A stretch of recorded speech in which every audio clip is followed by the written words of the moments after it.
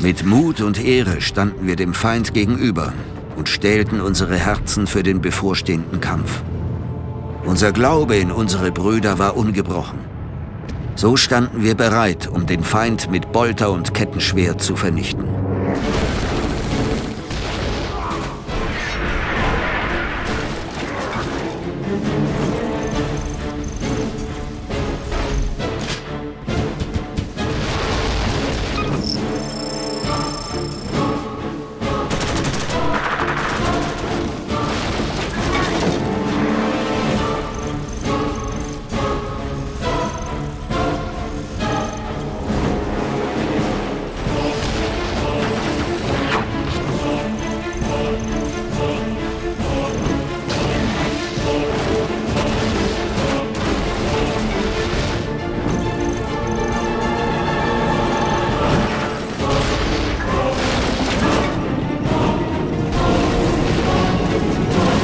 Aussicht auf unsere Zerstörung trieb sie voran.